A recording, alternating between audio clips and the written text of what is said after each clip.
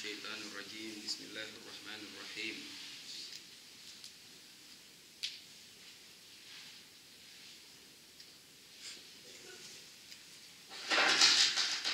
أعوذ بالله من الشيطان الرجيم. بسم الله الرحمن الرحيم. ثم الصلاة والسلام على أشرف المرسلين. نبينا محمد وعلى آله وأصحابه وسلم تسليما continue le cours toujours donc, sur le tawhid l'aqidah, l'unicité d'Allah et le dogme. Demande à Allah de nous compter parmi les vrais muwahidines, ceux qui l'adorent subhanahu wa ta'ala comme il a enseigné notre bien-aimé Muhammad alayhi.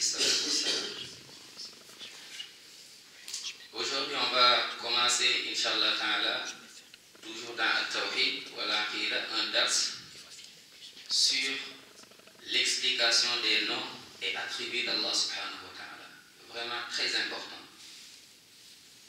Les noms et attributs d'Allah Subhanahu wa Ta'ala.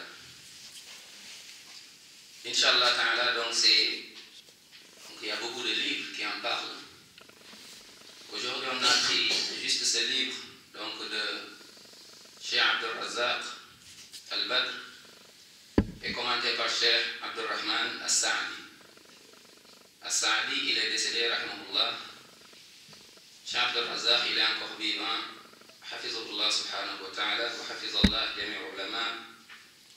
Donc on va étudier, Inch'Allah ta'ala, cette partie, car c'est très très très important de le savoir. Il dit les raisons de ses mérites, de pourquoi on doit connaître Allah, subhanahu wa ta'ala, connaître ses noms et attributs. Il dit la connaissance de l'unicité d'Allah, dans ses noms et attributs, est la plus noble, la plus méritoire et la plus importante des sciences. Connaître Allah est la priorité des priorités. Connaître subhanahu wa ta'ala. C'est la science la plus noble et la plus méritoire. Il dit, or, on estime la noblesse et le mérite d'une chose selon la noblesse du sujet, objet de, l'étude. Et il n'est pas de science plus prestigieuse et plus méritoire que de connaître Allah subhanahu wa ta'ala à travers l'étude de ses noms et attributs cités dans le Coran et la sunna de Rasul alayhi Pour cette raison, chercher à connaître et comprendre ces noms fait partie des meilleures requêtes et des plus hauts et des plus hauts objectifs donc de tout serviteur. Le deuxième point, pourquoi on doit étudier ce, cette science, dit parce que la connaissance d'Allah subhanahu wa ta'ala incite le serviteur à l'aimer, le vénérer, le craindre et à espérer sa grâce et sa miséricorde, tout en vouant un culte exclusif et sincère. Si tu connais Allah, tu vas l'aimer automatiquement. Mais si tu ne connais pas Allah, tu ne vas pas l'aimer. Si tu connais Allah, bien sûr que tu vas le craindre. Et si tu connais Allah, tu vas espérer sa grâce et sa miséricorde. Mais si tu ignores Allah, il dit cette connaissance représente la plus grande nécessité et le plus important besoin pour le serviteur. Ibn al-Qayyim a dit il n'est pas, de plus il, pas de plus immense besoin pour les âmes que de connaître leur Créateur, de l'aimer, de l'évoquer, de s'en réjouir et de se rapprocher de lui. Ça, c'est le meilleur. C'est les âmes pas, ne peuvent pas trouver ou bien n'ont pas plus important qu'Allah subhanahu wa ta'ala. C'est pour ça Allah subhanahu wa ta'ala, il nous prévient de ne pas l'oublier. Allah dit, Wala takunu kalladina nasullah. Ne soyez pas comme ceux qui ont oublié Allah. L'âme qui oublie Allah, cette maladie est la pire des maladies. Donc, y a qui continue il dit tout cela n'est possible qu'à travers la connaissance de ses attributs et ses beaux noms. Les attributs d'Allah et les beaux noms d'Allah. Donnez-lui une chaise. Na.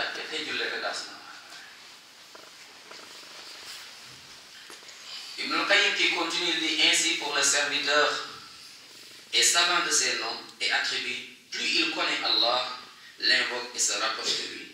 Si on connaît Allah, pourquoi les pieux avant, ils faisaient des choses, nous, quand on nous le raconte maintenant, pour nous, c'est, c'est plus possible. C'est, justement, c'était leur connaissance. Ils connaissaient Allah subhanahu wa ta'ala. Innama min. Plus que tu connais Allah, plus que tu, mashallah, tu te renseignes, tu te rapproches, cet amour que tu as, regarde-nous tous, on aime des choses sur terre. Tous. On a des projets. Qui n'a pas de projet sur terre? Tous les gens qui sont morts. Tous les gens qui sont dans les tombes, qui ont rendu l'âme, ils ont laissé des projets. Soit c'est des projets, ils, ils ont débuté et ça n'a pas fini. Soit ils ont construit, mais malheureusement, ils n'ont pas habité. Mais le pauvre, c'est celui qui construit ici, mais il n'a pas construit là où il va partir. Le pauvre, c'est celui qui se donne à fond ici et qui oublie là où il va partir. Alors que tous les jours, tu es en train de dire au revoir à là où tu es et tu es en train donc de dire à là où tu vas que j'arrive tous les jours. Toute respiration te mène vers la, vers la tombe. Tout regard te mène vers la tombe. Tout ce que tu entends te mène vers la tombe. Toute démarche te mène donc vers la tombe. Toute ta vie, donc, tu es en train de partir pour quitter ce monde. Tous les jours, on quitte ce monde, on est en train de partir. Mais si tu connais Allah, alhamdulillah, tu vas le rencontrer.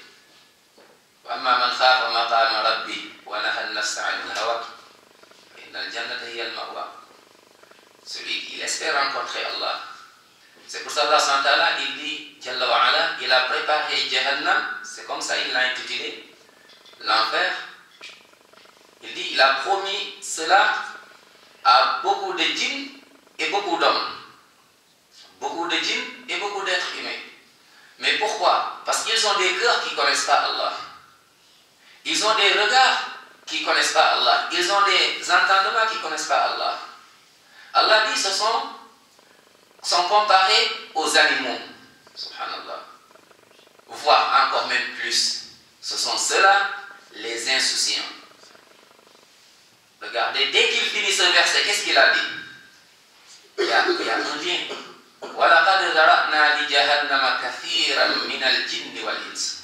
Pourquoi? Allah, sa parole ne change pas. J'ai préparé l'enfer. L'enfer, Allah il l'a préparé. Et des djinns vont y aller, et des hommes aussi vont y aller. Non. Qu'est-ce que nous dit Allah Santala ولو ترى إذ المجرمون ناكسوا رؤوسهم عند ربهم ربنا أبصرنا وسمعنا فارجعنا نعمل صالحا إنا موقنون ولو شئنا لأتينا كل نفس هداها ولكن حق القول مني لأملأن جهنم من الجنة والناس أجمعين من الجنة والناس les djinns et les hommes Allah dit وَلَقَدْ ذَرَأْنَا لِجَهَنَّمَ كَثِيرًا مِنَ الْجِنِّ وَالْإِنسِ Pourquoi Allah a promis l'enfer à ses créatures Al-Jinn wal-Ins, As-Saqalain. Il dit لَهُمْ قُلُوبٌ لَا يَفْقَهُونَ بِهَا Ils ont des cœurs, mais malheureusement ils ont oublié Allah. وَلَهُمْ أَعْيُنٌ لَا يُبْصِرُونَ بِهَا Ils ne voient plus, subhanallah, ce qui mène vers Allah. Ils prennent des chemins qui les éloignent d'Allah subhanahu wa ta'ala. وَلَهُمْ آذَانٌ لَا يَسْمَعُونَ بِهَا Allah dit Ulaika kal an'ami bal hum adal. Ulaika humul ghafilun. Et juste après, il nous parle donc de l'enfer, il nous parle donc de pourquoi. Et juste après, il dit Walillahi al-asma'ul husna fad'uhu biha. Allah, les beaux noms et les beaux attributs. Invoquez Allah subhanahu wa ta'ala à travers ses noms et ses attributs. Walillahi al-asma'ul husna fad'uhu biha. الذين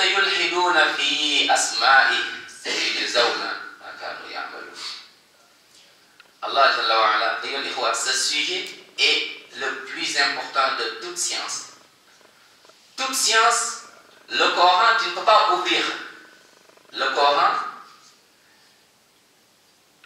et lire une page sans retrouver donc ce dont on parle, sans retrouver Asma'ullah Ouvre le Coran, ouvre chaque page. Chaque page que tu ouvres te parle donc d'Allah subhanahu wa ta'ala. De Fatiha, Baqara, tu continues Al Imran, Nisa, jusqu'à Qul Qul Qul Nas. Ouvre, prends page par page. Tu verras jamais une page qui ne va pas te parler d'Allah subhanahu wa ta'ala et qui ne va pas te mettre en relation avec Allah. Mais malheureusement, les gens ont oublié Allah. Alors qu'Allah, il s'est présenté, c'est lui-même qui se connaît. Qui est Allah Allah, il le parle, c'est lui Allah. Hu Allah. Hu Allah الذي لا إله إلا هو عالم الغيب والشهادة Regardez comment il établit, il rappelle ses noms et ses attributs, c'est pour qu'on médite. Juste avant, il nous parle donc des créatures. Il y a des créatures, des êtres humains, comme Allah dit, sont comme les animaux, encore même pire, ceux qui ne connaissent pas Allah. Bien sûr, tout ce qu'Allah crée, le, prenons le soleil. Le soleil connaît Allah mieux que beaucoup de musulmans de nos jours. La lune, la même chose. Les montagnes, la même chose. Les arbres, la même chose. Allah, il dit Alam tara anna Allah yasjudu lahu man fis samawati wa man fil ard. Tout se prosterne devant Allah. Il dit ceux qui sont dans les cieux et sur la terre. Après, il nous cite Wa shamsu, wal qamaru, wal nujum, wal jibal, subhanallah, wa shajar, wa dawab, wa kathirun minan nas, mais Il dit le soleil se prosterne devant Allah. Le soleil connaît At-Tawhid. Le soleil connaît celui qui l'a créé. La lune se prosterne devant Allah. La lune connaît les noms et attributs d'Allah subhanahu wa ta'ala. Les montagnes se prosternent devant Allah. Subhanallah. Il y a des oiseaux, les oiseaux même connaissent Allah mieux que beaucoup de, de musulmans de nos jours. La preuve, subhanallah. Il y a des oiseaux. Il est où Hudhud, le Suleiman alayhi salam? Hudhud qui est sorti, il a vu que des gens adoraient autre qu'Allah. Il n'a pas compris. Il dit, j'ai vu, inni mra'atan tamlikuhum wa. J'ai vu une femme, une dame qui a un pouvoir, qui a un trône. On lui a donné beaucoup. Et cette dame, subhanallah, et les gens qui sont avec elle se prosternent devant, subhanallah, des créatures, devant le soleil, alors que le soleil se prosterne devant Allah. إني وجدت امرأة تملكهم وأوتيت من كل شيء ولها عرش عظيم وجدتها وقومها يسجدون للشمس من دون الله وزين لهم الشيطان أعمالهم فصدهم عن السبيل فهم لا يهتدون سبحان il se prosterne c'est le c'est Hudhud l'oiseau qui parle l'oiseau qui connaît Allah l'oiseau qui connaît Tawhid et puis il se prosterne devant autre qu'Allah subhanahu wa ta'ala il dit Allah yasjudu lillah. Pourquoi ils ne sont pas prosternés devant Allah Depuis quand des créatures se prosternent devant autre qu'Allah Allah yasjudu lillah. الذي يخرج الخبأ في السماوات والأرض ويعلم ما تخفون وما تعلنون Il continue Allah la ilaha illa hu. Allah la ilaha illa hu. Il n'y a aucune divinité qui mérite l'adoration si ce n'est Allah subhanahu wa ta'ala. Il n'y a que Allah subhanahu wa ta'ala, l'oiseau. Même d'autres animaux encore, la fourmi reconnaît même la prophétie donc des prophètes de Sulaiman alayhi salam. النمل حتى إذا أتوا على وادي النمل قالت نملة يا أيها النمل ادخلوا مساكنكم قبل أن يحتمنكم سليمان وجنوده وهم لا يشعرون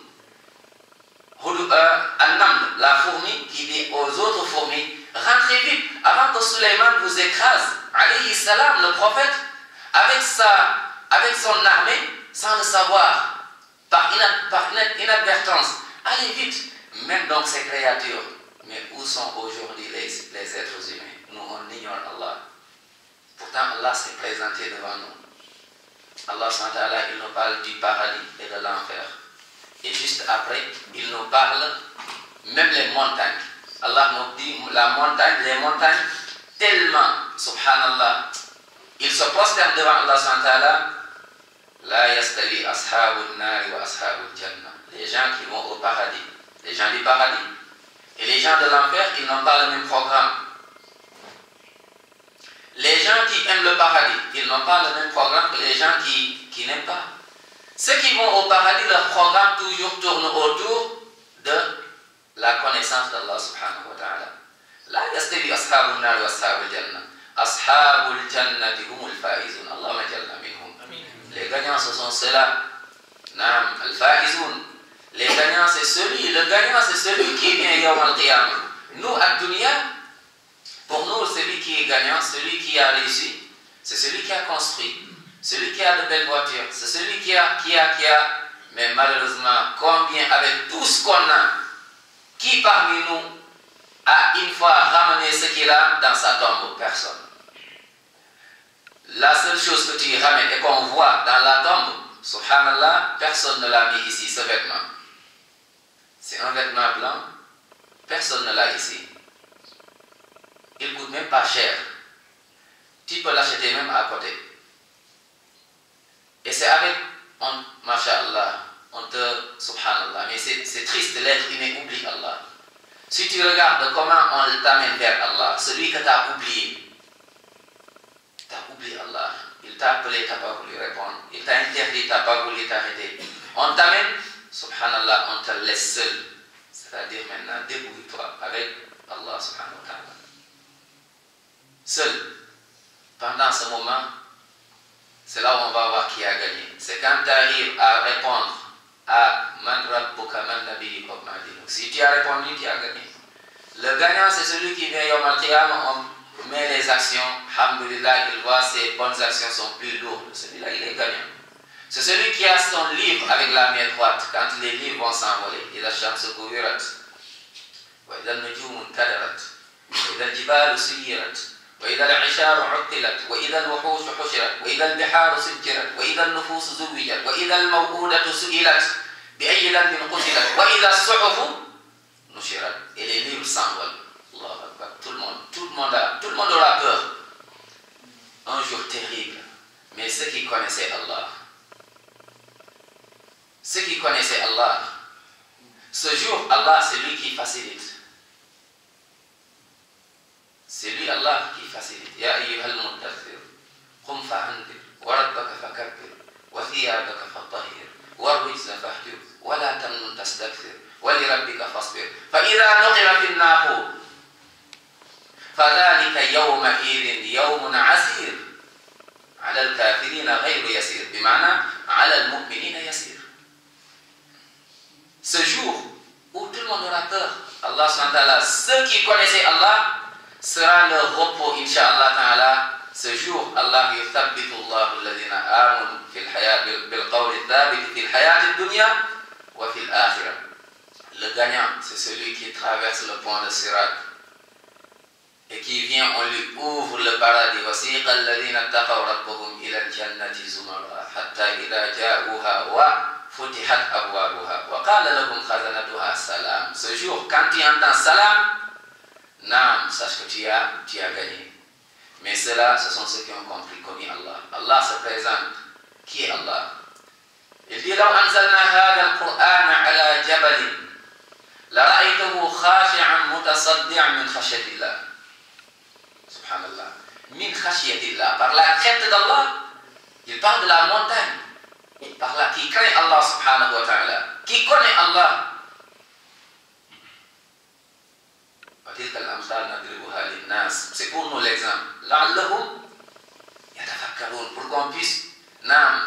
الله من ناكي سبريزان هو الله. سلي الله.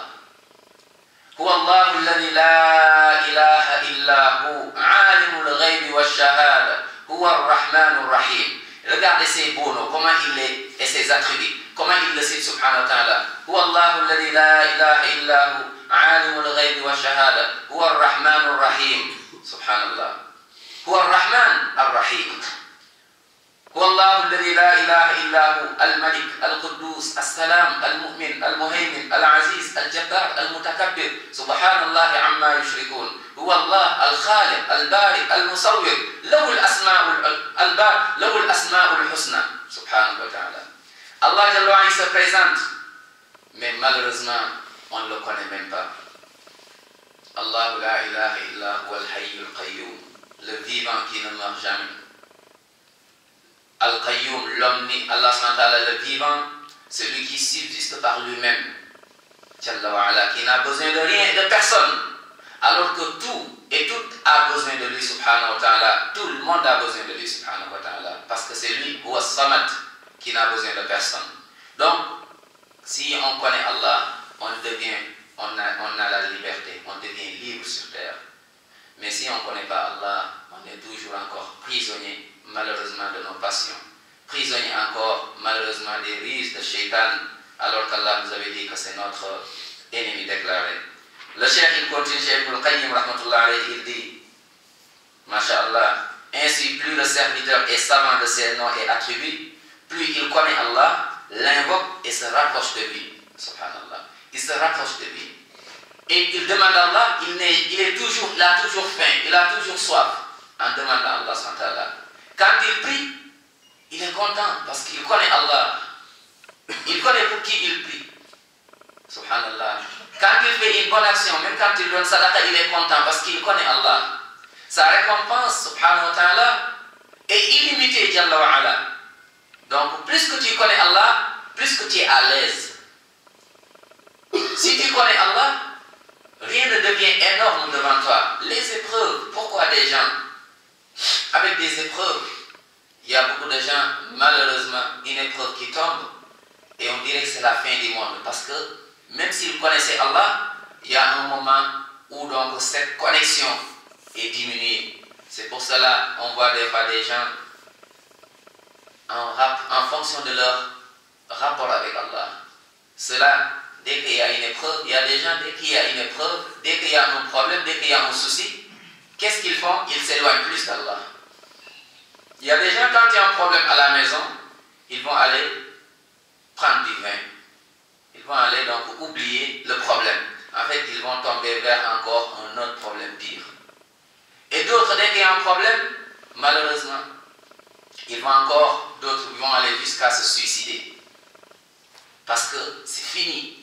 Ils ont coupé, malheureusement, cet espoir Ya Allah Jamais ne désespère jamais de la miséricorde d'Allah. Ce verset, il y a des savants qui disent Al-Mufassirun, parmi le Coran, le verset, quand tu lis des versets, il y a des versets qui te font peur. Il y a des versets qui te donnent de l'espoir. Ils disent parmi les versets qui donnent plus d'espoir, fait partie donc de ce verset. Allah dit, dis à mes serviteurs, Allah, ce verset vraiment est noble comme les autres. Ce verset, il faut le rappeler tout le temps aux gens parce que des fois, des fois, malheureusement, on ne cherche pas d'excuses aux gens. Et cela aussi, c'est par rapport à notre relation avec Allah. Nous, on cherche que, on voit qu'on on sait que matin et soir, on s'éloigne, on fait du mal. On fait ce qu'Allah interdit. On s'éloigne d'Allah et tous les jours, on lui demande de nous pardonner. Mais malheureusement, nous, on ne se pardonne pas. Cela prouve que notre connaissance envers Allah est limitée. Si on connaît vraiment Allah, c'est qui Allah, c'est le pardonneur, automatiquement je pardonne. Si tu connais Allah, c'est qui Allah, c'est le miséricordieux par excellence, automatiquement tu vis cette miséricorde.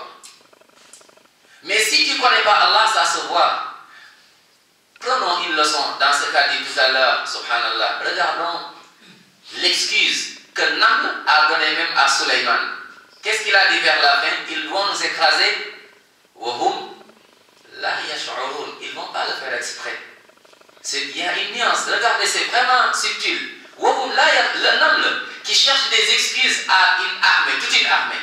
Subhanallah. Mais nous, on n'allait pas chercher des excuses entre nous. Cela prouve notre rapport avec Allah. Si on connaît bien Allah comme il se doit, on ne peut faire que du bien. On ne peut parler que du bien. On ne peut agir que du bien. Si tu connais vraiment Allah, parce que Allah est pur, tu ne peux pas être avec Allah et faire du mal. Tu ne peux pas être avec Allah et être méchant. C'est pas possible. C'est qu'il y a un problème. À un moment donné, tu as dévié, tu as laissé le chemin qui te mène vers Allah. Tu ne peux pas être avec Allah et être orgueilleux. C'est pas possible. Tu ne peux pas être avec Allah et être jaloux. C'est pas possible. Ça, ce sont des maladies. Allah est pur, alors que ces maladies-là sont sales. Allah subhanahu ne les aide pas. Allah subhanahu il nous donne l'exemple d'un vrai croyant.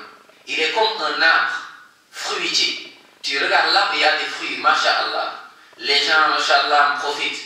Il dit parce que il y a une base, il y a un fondament. Et ces fruits dépendent donc toujours de ce que l'on ne voit pas. Les racines, on ne les voit pas. Le fondement, en bas on ne le voit pas, on voit que les fruits quand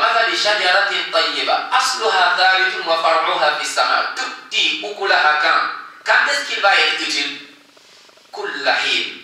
24 sur 24 le croyant qui connaît Allah est utile 24 sur 24 kullahin 24 sur 24 tu ne peux pas dire moi je suis utile ici aujourd'hui mais après le reste je m'en fous. C'est pour cela qu'il nous faut connaître Allah. Tous les dégâts qui existent parmi nous tous ces problèmes les guerres entre nous, ce, ce déchirement dans notre communauté, c'est parce que notre rapport avec Allah est fragile. Notre rapport avec Allah est fragile. On dit dans la prière Alhamdulillah, on remercie Allah. Le riche, son remerciement vers Allah, c'est bien aussi doivent remercier Allah subhanahu wa ta'ala. Le savant, son remerciement vers Allah, sa science doit remercier Allah. C'est-à-dire qu'il doit donner sa science, il doit donner ses biens, il doit donner de belles paroles. Et c'est pour cela qu'il dit, Rahmatullah alayhi, mais plus il ignore les beaux noms d'Allah et ses attributs, plus il méconnaît Allah. Subhanallah, il déteste et s'éloigne. Il y a des gens qui ne savent pas, c'est de, de l'ignorance parce qu'ils ne connaissent pas Allah. Si tu ne peux pas connaître Allah subhanahu wa ta'ala, regardons juste Rasul alayhi salam. Combien de gens l'ont détesté parce qu'ils ne le connaissaient pas Pourtant, c'est une créature. Mais quand ils l'ont connu, il y a des, des, compagnons qui sont reconvertis à l'islam. Quand ils sont reconvertis, ils ont dit des paroles. Parmi ces paroles, ils ont dit Muhammad sallallahu alayhi wa sallam, tu faisais partie, ton visage, toi, Bimana, tu étais l'homme que j'ai détesté le plus sur terre.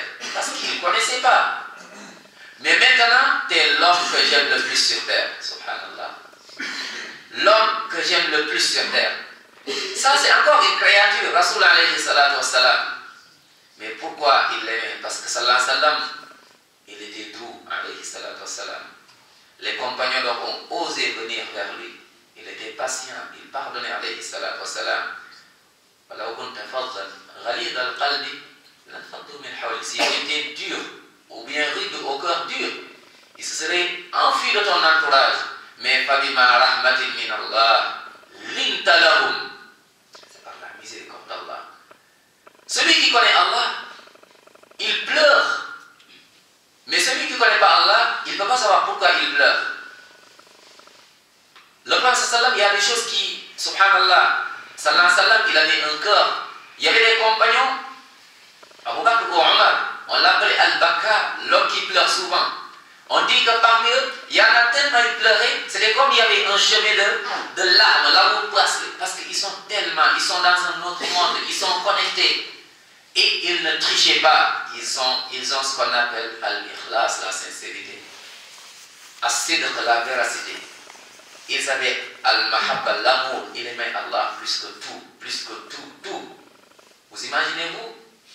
Cette dame, pendant le djihad, il y a son mari qui a assisté au djihad, il y a ses enfants qui ont assisté, subhanallah. Et après le djihad, tout le monde cherche sa famille. On lui dit, mais ton mari, elle continue. On dit, mais qu'est-ce qui lui arrive? On dit, mais tes enfants sont morts. Mais elle n'a rien. Elle dit, Muhammad. Il est au alayhi wa sallam? sallam, parce qu'il le connaissait. C'est encore un autre niveau quand on connaît Allah subhanahu wa ta'ala. Quand on connaît Allah, la prière devient pour nous, subhanallah, la prière devient une guérison des cœurs pour nous. Mais si tu ne connais pas Allah, la prière devient un fardeau. Si tu connais Allah, faire du bien te soulage. Mais si tu ne connais pas Allah, faire du bien devient lourd pour toi. C'est pour ça que il dit, et Allah estime son serviteur. Subhanallah. Écoutons bien cette phrase. Allah estime son serviteur. Allah m'estime moi. Allah vous estime. Il dit selon l'estime que celui-ci celui, celui lui accorde. C'est chacun comme tu es, Allah est avec toi ainsi. Si tu donnes, subhanallah, si tu mets Allah au centre de ta vie, Allah, il ne te laisse pas tomber, c'est pas possible. Même s'il t'éprouve, s'il t'éprouve, subhanahu wa c'est pour t'élever. Parce qu'il t'aime, Allah. Il t'aime, subhanahu wa ta'ala. Allah, quand il aime son serviteur, il l'élève. Et élever son serviteur, c'est des niveaux. Des fois, c'est une épreuve. Allah, subhanahu il te met devant des épreuves, devant des épreuves, il t'élève, il t'élève, il t'élève, subhanahu. Mais à condition que tu patientes.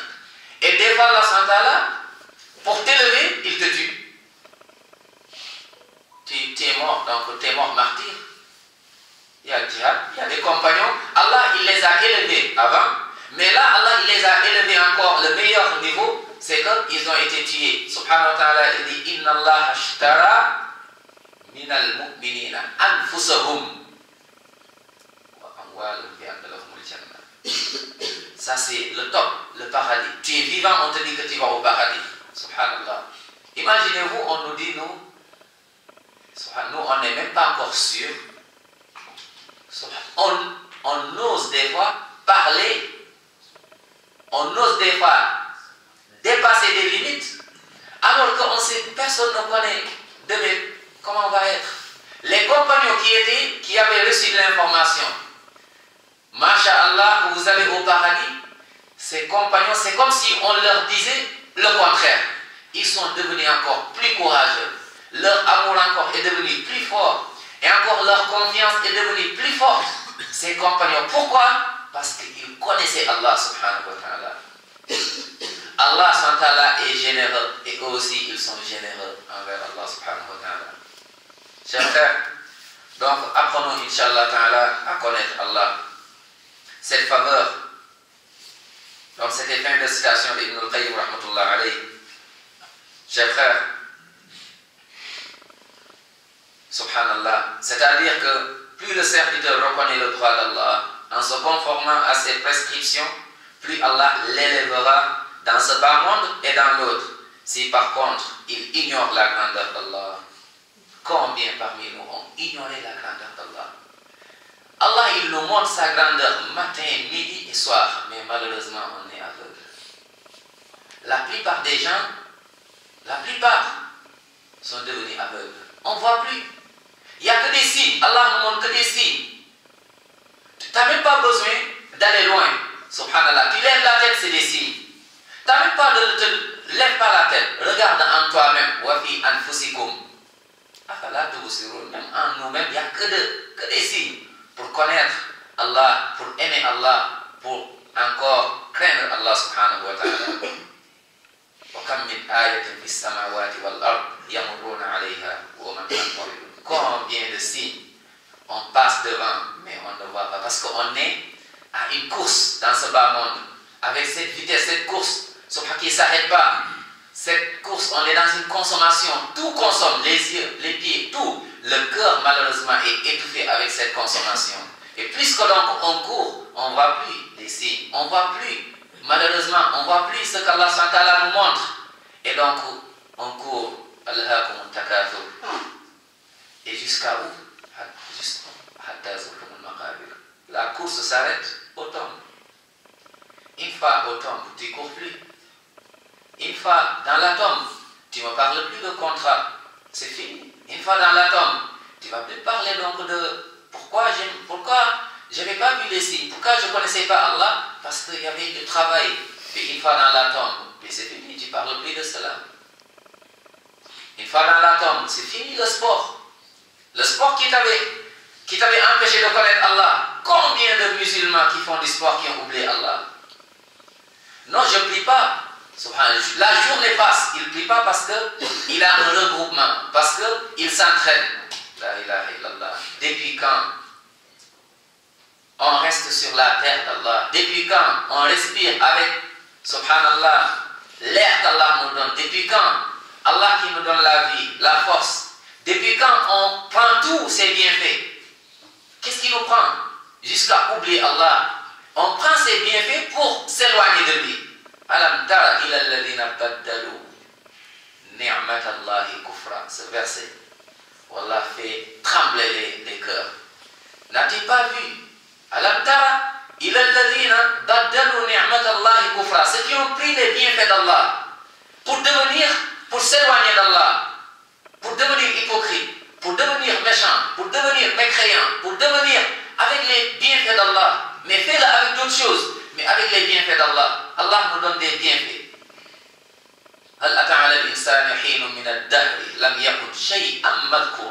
On n'existait même pas. Il y a eu de cela parmi nous 30 ans avant, il n'était pas là. D'autres 50 ans, il n'était pas là. D'autres 100. Mais Allah nous a fait venir là. Il nous a créés. Pourquoi?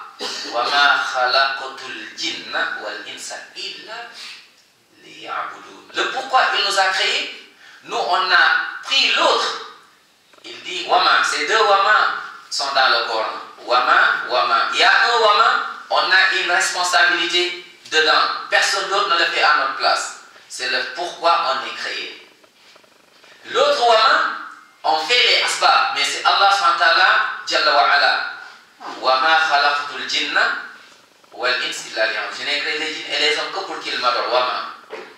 Et l'autre c'est Wama min dabbatin fil ardi illa ala Allahi rizquha. Risque. Mais nous, on est venu, c'est comme si maintenant, subhanallah, on sort, Allah nous crée, on va vers le risque.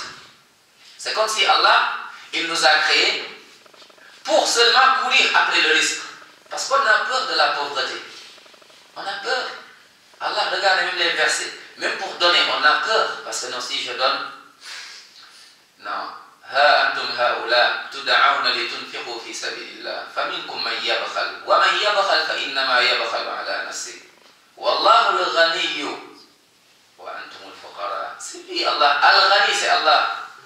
Et c'est pour les pauvres. Peut, tu peux avoir beaucoup, mais tu ne l'utilises pas. Combien de gens sont dans les hôpitaux?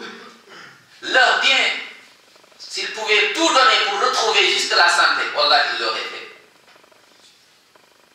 Combien? Avec tout ce que tu as. Mais on a oublié Allah. Alam tara ila baddalu ni'matallahi kufra. N'a-t-il pas vu ceux qui ont pris les bienfaits d'Allah? Pourtant, on les connaît. Ya'rifuna ni'matallah. Thumma yunkirunaha. Ils le connaissent bien les biens, mais ils l'ont oublié. C'est les bienfaits d'Allah. Le meilleur bienfait sur terre. Le meilleur bienfait sur terre Al-yawma akmaltu lakum dinakum wa atmamtu alaykum ni'mati c'est l'islam. Tu es musulman, remercie Allah. Ce que tu dois faire, c'est de ne pas oublier Allah. Ne cours pas trop jusqu'à oublier et jusqu'à ne plus voir les signes qu'Allah te montre. Tu cours et l'arrivée, لا توم تتان ألهاكم التكاثر حتى زرتم المقابر. كلا سوف تعلمون. ثم كلا سوف تعلمون. كلا لو تعلمون علم اليقين لترون الجحيم. ثم لترونها عين اليقين. ثم لتسألن. On va nous questionner يوم القيامة on va nous poser des questions. On va nous demander. Passe à l'aéroport. Passe au guichet. Tu vois comment on peut faire un à Les gens font de la... Ça, c'est juste dunya, c'est rien du tout. On va nous questionner sur quoi? Ani? Naïm, les bienfaits de l'œil. Qu'est-ce que tu as regardé? Est-ce que la journée, tu as regardé le livre d'Allah. L'œil. Est-ce que tes yeux ont regardé aujourd'hui? Ont ouvert, ont vu Ont regardé, ont médité sur le livre d'Allah pour connaître Allah. Naïm, le bienfait. Est-ce que tes oreilles aujourd'hui, machallah, ont écouté quelque chose Mashallah, leur relation avec Allah, est-ce que, est-ce que, est-ce que, pose-toi les questions, mais ne sois pas comme cela. Voilà, ne soyez pas comme ceux qui ont oublié Allah, qu'Allah nous en préserve. Qu'Allah nous, nous fasse comprendre sa religion. Et qu'Allah nous compte parmi ses vrais serviteurs sincères, qui ont la sincérité, qui ont l'amour, qui ont la certitude. Qu'Allah nous donne al-khatima, une. Qu'Allah nous éloigne de tout ce qu'il déteste. Qu'Allah nous fasse connaître des gens qui nous fassent connaître Allah subhanahu Qu'Allah nous éloigne toute personne qui nous fait éloigner d'Allah subhanahu Qu'Allah subhanahu nous fasse comprendre la sunna de notre bien-aimé Muhammad sallallahu Qu'Allah subhanahu fasse que tout ce qu'on dit et fait soit que pour lui et comme l'a enseigné alayhi salatu. Qu'Allah nous préserve et préserve nos parents vivants ou décédés. Qu'Allah subhanahu guérisse les malades. Qu'Allah subhanahu guérisse les malades qui sont dans les hôpitaux, qui sont dans les maisons. Qu'Allah guérisse nos maladies de nos corps, mais surtout nos maladies de nos cœurs. Qu'Allah fasse de la miséricorde à nos parents et à nos familles et à nos connaissances et à nos proches qui sont décédés. Qu'Allah les accueille tous au paradis. Sa maison Fitunia, qu'Allah nous réunisse tous au paradis. À côté de notre bien-aimé Muhammad sallam, مع النبيين والصديقين والشهداء والصالحين وحسن أولئك رفيقا وصلى الله وسلم على نبينا محمد وعلى آله وصحبه وسلم تسليما كثيرا سبحانك اللهم وبحمدك أشهد أن لا إله إلا أنت أستغفرك إليك سبحان ربك رب العزة عما يصفون وسلام على المرسلين والحمد لله رب العالمين